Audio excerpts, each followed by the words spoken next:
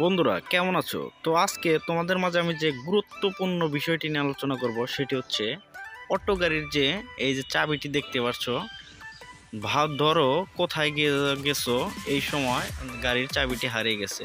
তো সেই ক্ষেত্রে তোমার করণীয়টি কি? ভিডিওটি না টেনে সম্পূর্ণ ভিডিওটি মনোযোগ দিয়ে দেখবে। তো অবশ্যই ভিডিওটি গুরুত্বপূর্ণ। তো চলো, দেখা যাক।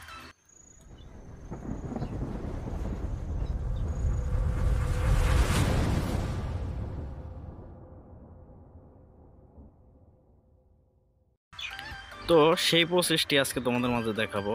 তো এই নিয়মে যদি কাজটি করো, তাহলে অবশ্যই তো মোটর সাইকেল হোক আর সেটি অটো হোক, সেটি নিয়ে আসতে পারবে।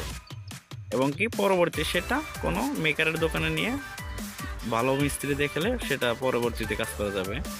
তো এই যে চাবিটি দেখতে পাচ্ছ, এই চাবির যে নিচ, নিচের সাইডে আমাদের চারটি কেবল তার আছে।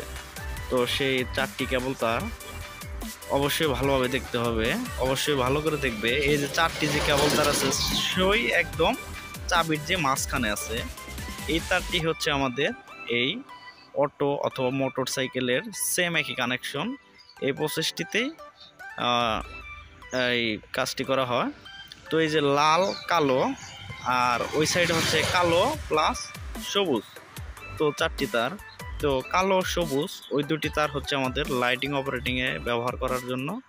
আর যে লাল কালো যে দুটি তার আছে, এটি হচ্ছে আমাদের ইঞ্জিন সুইচ অথবা অটোর যে কন্ট্রোলার বক্স আছে, সেই কন্ট্রোলার বক্সে লাইনটি যায়। তো এখানে যে দেখতে হবে অবশ্যই ভালো করে খেয়াল করবে যে তারটি এই যে এই যে মিটারের যে চাবির যে গার্ডটি আছে, সে এইখান থেকে কিনা। তো অবশ্যই ভালোভাবে লক্ষ্য রাখবে যে অবশ্যই সেই চার সেই তারটি কিনা। তো অন্য তার কিন্তু ছেলে আবার অনেক প্রবলেম হবে। তো সেই ক্ষেত্রে ভালোভাবে দেখতে হবে। তো সেক্ষেত্রে দেখার জন্য যে দেখতে পাচ্ছ এখানে এর আগেই ছেঁড়া আছে। এর আগেও এটি মডিফাই করা হয়েছিল।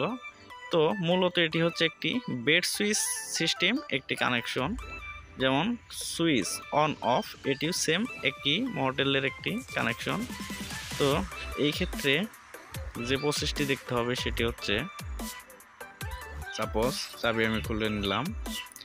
খুলে নেওয়ার পর এই যে লাল কালো, এই লাল কালো দুটি তার যদি আমি অ্যাড করে দেই, লাল প্লাস কালো মানে প্রথম সাইডের যে লাল কালো, প্রথম শাড়ির মানে যে লাল কালো তারটি আছে, এই তারটি যদি আমি অ্যাড করে দিই, হালকা একটু ফায়ারিং হবে এবং কি মিটারে কিন্তু আমাদের লাইন অবশ্যই এসে পড়েছে। তো দেখতেই পারছ, মিটারে অবশ্যই লাইন এসে পড়েছে। তো এই প্রসেসটি ব্যবহার করে তোমরা কোনো জায়গায় যে বিপদে পড়ো, সেই ক্ষেত্রে সেখান থেকে উদ্ধার হতে পারবে।